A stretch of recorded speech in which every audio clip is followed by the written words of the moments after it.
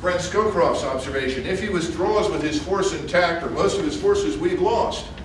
Well, as we're going to find out, the only force that was really capable and mattered was the Republican Guard Corps.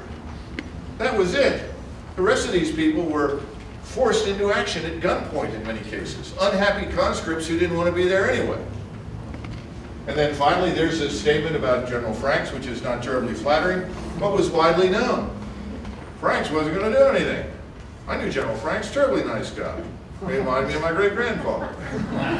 Iraqi tank crews can fire every 8 to 10 seconds from a static defensive position, but are unable to hit targets beyond 500 meters and nothing that moves. That was in an Armor magazine article written by a retired lieutenant colonel from the Israeli Defense Force. We took that and we believed in it because everything coming down to us was, today, Saddam Hussein moved another 16 divisions into the Kuwaiti theater of operations. Today, 500 more T-72 tanks were delivered. Today, and on and on. You'd thought this guy was Joseph Stalin, the force development king of all time. It was nonsense. But no one would step back and look at reality. Next slide. So what does it boil down to? George Bush said, we have very specific aims. We want to expel the Iraqi forces from Kuwait. We want to eliminate the puppet government set up by the Iraqis in Kuwait. We want to restore and preserve stability in the Gulf, and we want to protect American citizens. That's what he said. This is what General Norman Schwarzkopf says in November 1990 to his generals assembled, the people who would fight the war. Pin the Iraqi Republican Guard with their backs against the sea, then go in and wipe them out. Once they're gone, be prepared to continue the attack to Baghdad. Wow. That's a hell of a statement. I to think Schwarzkopf was right. I don't know who told him to do that. I don't know where that came from. I really don't. But he had identified the only force that mattered politically because robbing Iraq of that force left Saddam Hussein vulnerable to expulsion from power.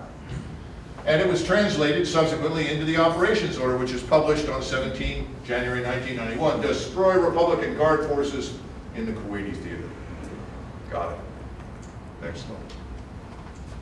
Now, you've seen some pictures of the desert. Before I go any further, got to understand something. The desert is flat. there are no rivers, there are no mountains, there are almost no obstacles. There are some areas with volcanic rock. There are some areas that on occasion can be sort of quicksand-like, but they're very small. And the area that we sweep across is actually more gravel than sand. It is exactly the same distance from here to this south of Basra as it is from Washington, D.C. to Philadelphia. But if you had to go from D.C. to Philadelphia with an army, that would be enormously difficult. Not here. So if you got into your you know, Land Rover, uh, Jeep Cherokee, how soon could you be up south of Basra from Saudi Arabia? Six, seven hours? Eight hours? That's about it. It's not what happened. Next slide. This is a picture of the 2nd Cavalry, or the 2nd Armored Cavalry Regiment zone of attack, where we were sent to advance. And the 2nd Cavalry was placed in the lead position for the entire 7th Corps. The 110,000 man 7th Corps from Germany was a mobile armored corps. Over a thousand tanks, thousands of Bradleys, over a thousand guns. Everything was mounted. Most of the fighting, war fighting equipment was tracked. And this force was brought here to Saudi Arabia for one reason, to conduct this flank attack to go up and annihilate the Republican Guard Corps. Now, the Republican Guard Corps consisted of about 140,000 men total. 20,000 were up in Baghdad. They were like light paramilitary police. Another 20,000 were special ops types, specialized infantry, naval infantry. The rest of it, about 80, maybe a little more, maybe 90,000 armored forces. These are the people with the best equipment Saddam's got. The most modern Soviet equipment that the Soviets would export. They're sitting up there north of Kuwait City, inside Iraq, and that's pretty much where they stayed through most of the campaign. Our job was to make this trip, this 123 miles, up there with the Corps behind us. No, it didn't happen. It didn't happen. What happens instead is that we move early into Iraq and we stop after moving perhaps, what, eight kilometers, 10 kilometers, and we halt. There's nothing out there. There's no enemy there. We stop. And the reason we're stopping is that the next day the Marines are supposed to make their assault, their great attack into the defenses in southern Kuwait, supposed to wait for them to make their attack. Okay? So, we wait. It was raining, it was cloudy, it was cold, the sky was black from all the uh, oil fires. Our uniforms were covered in oily, nasty soot. So we sat in our vehicles, sat in our tanks. John Hillen listened to the radio, I went to sleep. and we woke up the next morning. It was a wonderful morning. Cold, wet, black, nasty, overcast. I got into my tank at the center of the formation. John was behind me in his Bradley, and we rolled forward to the lead position. And we had a platoon that was 15, 20 kilometers that raced out in front of us as our forward reconnaissance element. We were spread across 15 kilometers in a 20 kilometer zone, 10 kilometers deep. Got the word to move. It was like Austerlitz in 1805. As I was driving up there, all the troops were up in their turrets waving. Everybody was, yeah, let's go! Let's get it done! Let's fight! None of this stuff. No! Everybody was ready to go, and they were very well trained. So we move.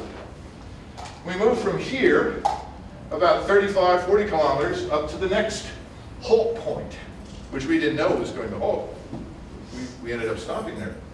In the meantime, this platoon of six Bradleys and a mortar section of two mortars, two four-deuce mortars, shoots out ahead of us. And on the way up there, an A-10 pilot flies across and tells us that he sees some Iraqi troops up there on this thing called Objective Merrill, where you can see on the left-hand side. And uh, I get this call. Well, the A-10s are in the air. What do you want them to do? I'm in my tank. What do I want them to do? I said, well, can they tell me what's on top of Objective Merrill? Sure. A few minutes later, said, well, there are a bunch of little guys running around on top of Objective Merrill. We see 12, 14 tanks. We see maybe 20 artillery pieces. Looks like maybe a thousand guys down there. So I said, great. Can you drop some bombs on them? Said, sure. Of course, I'm saying this over the squadron command net, so everybody in the squadron must have been laughing their asses off at me, because that wasn't exactly this textbook way to ask the Air Force to launch a strike. But I said, can you drop some bombs on them? So there's silence, and then I said, whoa, wait a minute, we have a platoon out there. Can you identify them? And they identified them, said, yep, they're still five, ten kilometers out. I said, good, okay. Don't bomb when they get close. Not a problem. So they identified the platoon, it moves up there. Then they called me up and said, okay, we're out of fuel. We hit them.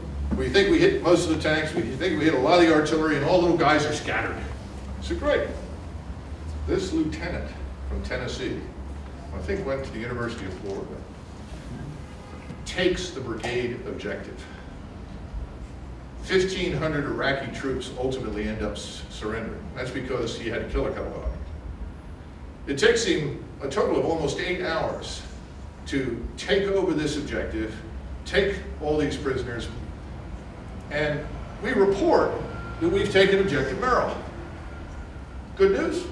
Sure. You would think up at the regimental headquarters, they'd say, damn, good job. No. They'd say, pull off of Objective Merrill. We're going to launch an artillery prep on Objective Merrill tomorrow morning. Fall back behind, phase line Dixie. What? And I said to John, didn't you tell these people? We've taken the objective. So John, you know,